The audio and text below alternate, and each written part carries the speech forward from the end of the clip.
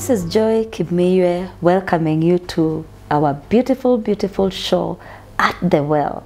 At the well, women would meet in the traditional ways and talk about the issues of life, talk about their issues. But here at the well, we meet the man Jesus Christ. Just as he met the Samaritan woman and fixed her issues, he can also fix your issues here at the well. This show comes to you every Tuesday at 10 a.m. East African time, and I'm glad to welcome you today as we look at the virtue of generosity. This is something we all know. This is something we are admonished from time to time, whether from church or the traditional front or societal front.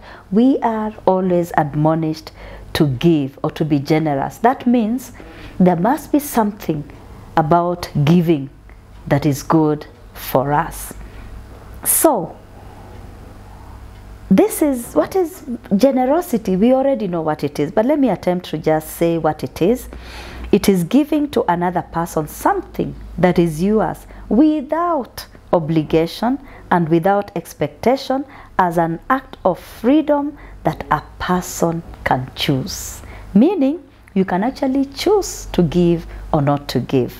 It is out of your free will. So, what does the Bible say about generosity? Some of the scriptures I'll share are very well known to us, but there are so many. From Genesis to Revelation, we are admonished to give. We see acts of generosity and even the effects of generosity.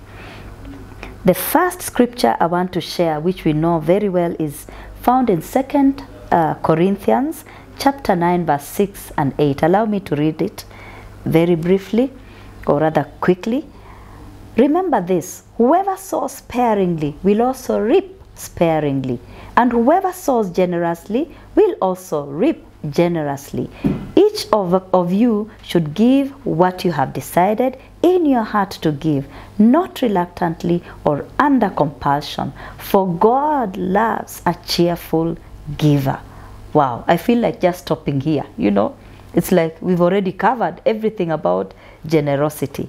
But in Malachi chapter 3, verse 10 and 12, just two verses, it says, Bring the whole tithe into the storehouse, that there may be food in my house. Test me in this, says the Lord Almighty, and see if I will not throw open the floodgates of heaven and pour out so much blessing that there will be no room enough to store it.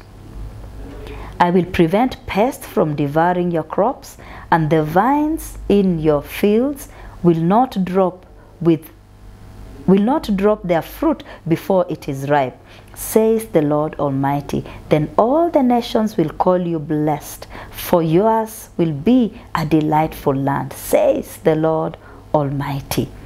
This is found in the Old Testament. Let me share a couple of uh, other verses and then we delve into this beautiful subject of generosity. Acts chapter 20, verse 35 says, In everything I did, I showed you that by this kind of hard work we must help the weak, remembering the words of the Lord Jesus Himself, who said, It is more blessed to give than to receive. And in Luke chapter 11, verse 13, it says, If you then, though you are evil, know how to give good gifts to your children, how much more will your Father in heaven give the Holy Spirit to those who ask Him? And the one that everyone knows, everyone who has been to Sunday school or to church, is John 3:16. For God so loved the world that he gave his only begotten Son, that whoever believes in him should not perish but have everlasting life. Wow, generosity, giving.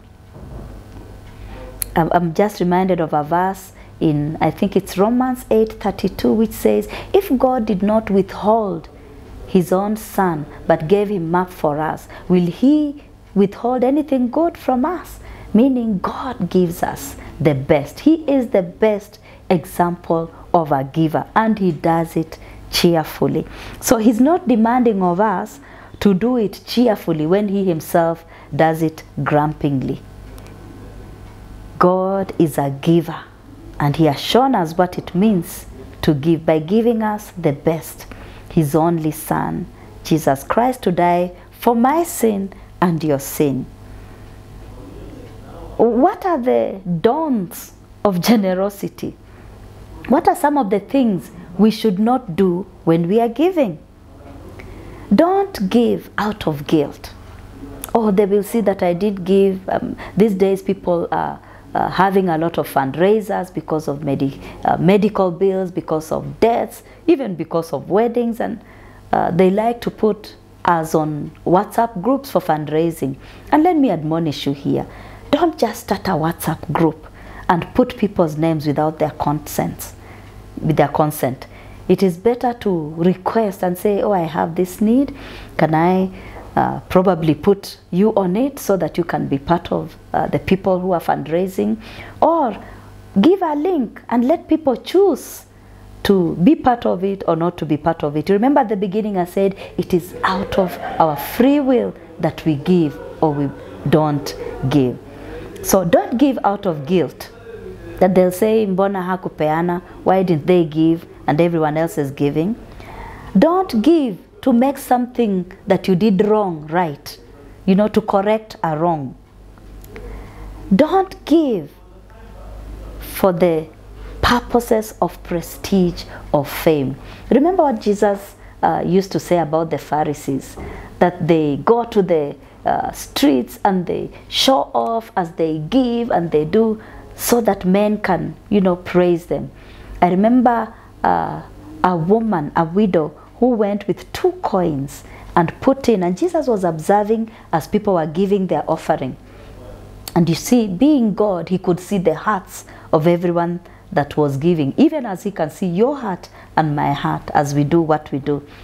And the Pharisees and the Sadducees, I mean Sadducees and the, the, the leaders uh, and the, the, the uh, leaders of the law, teachers of the law would go and lift up their offering and drop it so that everyone can see, you know, read this is a, a 20 or a hundred dollar bill, you know, and throw in, or this is a, an a thousand note, Kenya note, and throw in so that everyone can see what you're giving. That is what the Pharisees did. But Jesus observed everyone as they went in to give. And there was this little widow who went with two coins, and slowly she went in and just dropped it in, of course, feeling, oh God, I don't have much to give, but this is all I can be able to give. So don't do this, don't give for the sake of fame or prestige. Don't give expecting a reward. I remember Jesus saying to the crowds, if we give to those who are able to give us, then what do we what, what makes us different from the rest of the people? Don't give expecting a reward. When you give, just give. Just give. Don't give expecting to influence something. You know, I want to believe that that is what uh, our politicians do. Now we are in an electioneering mode, it is already set, and people have started moving up and down looking for votes. And sometimes people give money and they corrupt the minds of the voters. And the people, if you give to a woman who is not expecting to have any food, you know, and their children are going to sleep hungry or to have no food what, uh, whatsoever, and you just come in on time to give them this 50 shilling note or a 100 shilling note and they have a meal for the day, they will go saying, That is the person I'm going to vote for. Why? Because you have given to influence. I believe bribery falls into this uh, particular uh, category of giving to influence. Do not give so that you can influence something or someone to do something for you in return. Uh, don't give to fulfill an obligation for the sake of giving because you are expected to give, so you give. Don't give on the basis of self interest for what you can gain out of what you give. Just give just give cheerfully as we have been admonished in the Word of God. If you do give out of guilt or to correct a wrong or because of prestige or to influence something or out of obligation or self interest, then you lose the virtue of generosity because you're not giving you know to benefit someone else it is out of a selfish motive. So let us not give out of selfish motive. And this uh, uh, admonition or encouragement is from the great greek philosopher called aristotle aristotle the great greek philosopher.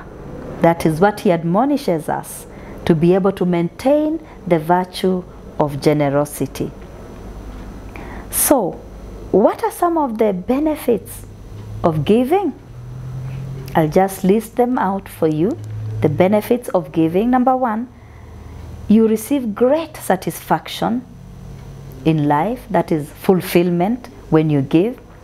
You gain more friends because you're generous. Of course, when you're mean, you're even so mean that your friends are also calculated and they're very few in number. Number three, you get and gain stronger relationships with people that you know, and you're happier in your career because you give, you're generous, and then you're more positive. You have a more positive outlook to life when you are generous, and then you're. Uh, uh, you have better physical and emotional and mental health when you give because there is some fulfillment that comes out of giving. There is satisfaction when you give, and you also have higher self esteem because when you give and people are grateful and they say, Oh, thank you, you have no idea what this means to me, it actually lifts yourself esteem. So there are benefits. These are just eight of them, but there are many, many benefits of giving. So, what are, according to the Bible, this, this was more on a general note or a psychological or emotional, mental note, uh, the, the benefits of giving. But what about biblically? What are the biblical benefits of giving? When we give, it is. Uh, evidence of our obedience to God. Because from the verses that we have looked at, we are admonished throughout the Word of God to give and to give cheerfully. So when we give, we do it in obedience to God. Number two, it helps us to set our priorities straight. That is, you don't give in expectation. You don't give because of what you will get. You give because you have already received. We read that for God so loved the world that he gave his only begotten Son, that whoever believes in him will not perish. God already gave to you.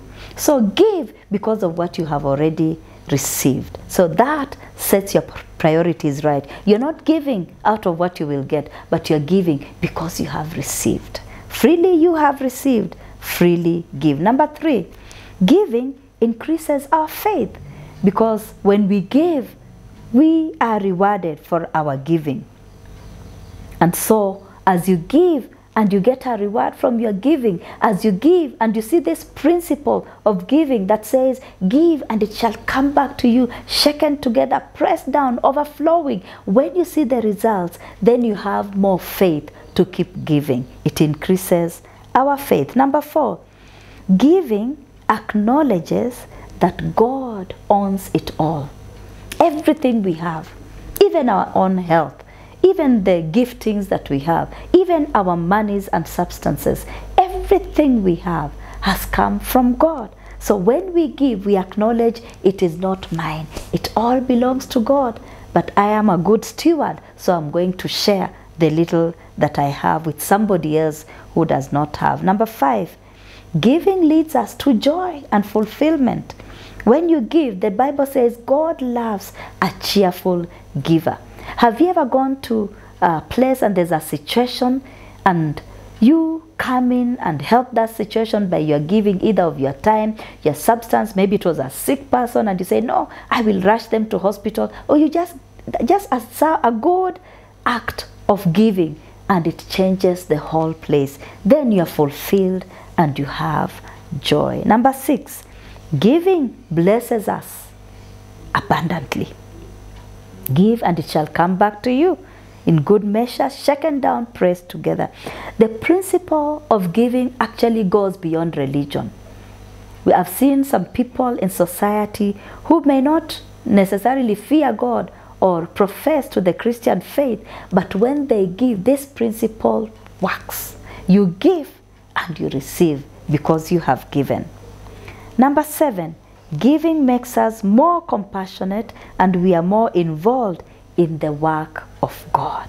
Give to missionary work, give to the church, give, give, give whenever you get an opportunity to give.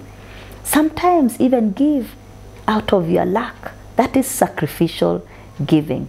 There are times you give the last coin that you have. And because this principle works well, because God is no man's debtor, you receive because of giving out of your own lack.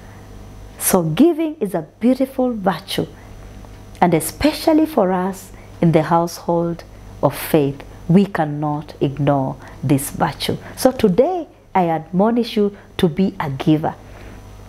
And this is a virtue that can actually be learned. You know, you keep holding on to the little you have, but if you open up your heart and say, God, I realize and recognize that you are the one who has given me everything I do, I will begin to live. You can learn to give and you can become a great giver to the glory and honor of the Lord Jesus Christ. Allow me to pray with you. Heavenly Father, thank you for reminding us of this great virtue of giving. You have modeled it to us in the scriptures. You have given your very best, even Jesus Christ, your Son. And you say, if you cannot withhold anything good from us, how can we withhold from others? You have given to us, oh God. Help us to give because we have already uh, received from you. Help us to give without expecting, oh God, because we are already so blessed and we can be a blessing to somebody else. So help us to be generous people. Help us to give because of what we have already received. I pray for my brother and my sister who is watching and listening to me today that they will learn this beautiful virtue of giving, that you may in turn bless them, O God. You even say in your word that when we go to our home and we are blessed with just a glass of water, we should leave a blessing because those people have given out of what they have. So help us to be givers that we may glorify you. Help us to test you in our giving, that you may open the windows and doors of heaven and pour in our laps so much that we cannot be able to handle. That your blessings may overtake us because of giving, because you are no man's debtor. I pray this with thanksgiving in the name of the Father and of the Son and of the Holy Spirit.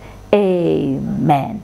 Give cheerfully because you have received from God. God bless you as you learn the virtue of giving. See you on Tuesday, 10 o'clock East African time the well where Jesus fixes your issues. Amen.